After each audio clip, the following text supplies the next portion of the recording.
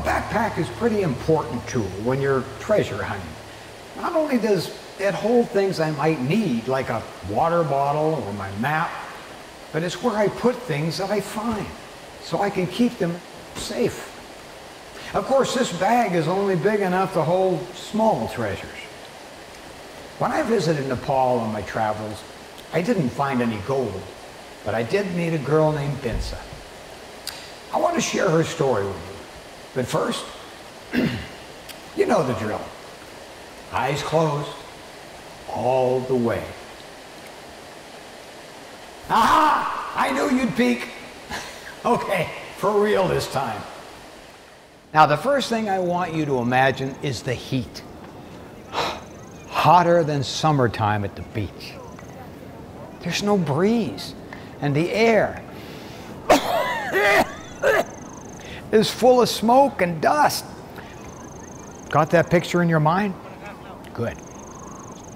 Now open your eyes. This is a brickyard. Workers form bricks out of clay, and then the kiln is a big oven that's used to bake them. It is very hot near the kiln. This is where Bensa lives.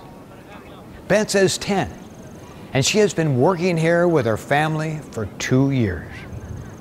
Her parents came to Kathmandu Valley looking for work and hoping for a better life. Instead, they found themselves in an unsafe living situation and unable to pay for the small hut they were given to live in. Sometimes, Bensa feels weak from the hours of work and the hot sun, but she tries not to let it show.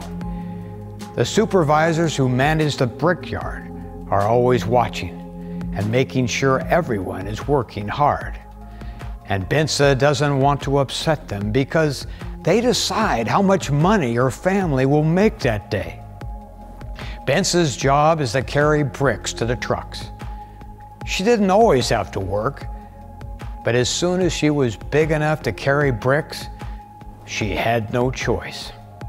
A pastor learned about Bensa and her family and brought them a food pack and told them about Jesus.